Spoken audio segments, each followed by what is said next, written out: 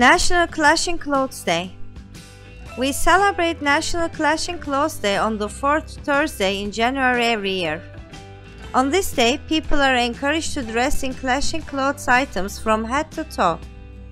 Anything that is in a neutral color like white, black or gray is no-go today. Navy and brown also match with most colors and therefore they aren't welcome on Clashing Clothes Day.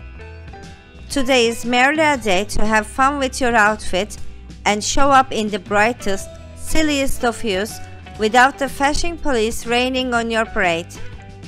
Mix colors, prints and textures and you will be clashtastic in no time. Clothing has been around for over a hundred thousand years.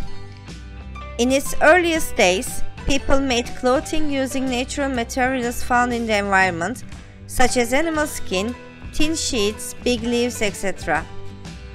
The purpose of clothes initially was purely protective.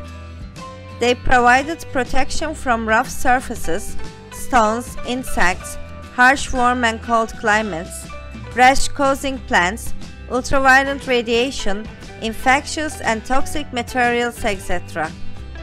Over time, lifestyle changes led to new development in the clothing world. For instance, with warfare came to the discovery of parkas to carry things and free your hands while on the move. Clothes also came to have an important social role to play. Covering the genitals and private parts in public became the basic norm, and its absence is considered indecent exposure. Socially, clothing portrays cultural identity, wealth, etc.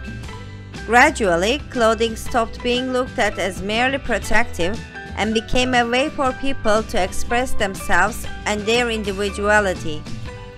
Around 1800s, designers set up fashion houses in France. With exciting, innovative designs and never before used materials, people were intrigued. Fashion took over the world and fashion trends spread from Europe to other parts of the globe. Technological and machinery advancements were made, making it easy to mass produce clothes. With clothing being available so widely, different categories began to form for different roles sportswear, loungewear, businesswear, etc. Some voices emerged as experts and became reliable sources of information regarding clothing. Designers, celebrities, models, and more influential people played the role of trendsetters, and fashionistas established some unofficial fashion rules.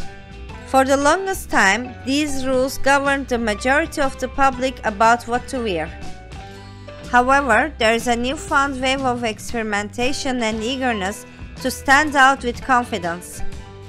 Clashing prints and colors were not known for a long time, but are now seen even in luxurious fashion labels. Clashing Clothes Day is a day for people to dabble into the bright, bold world of clashing clothes.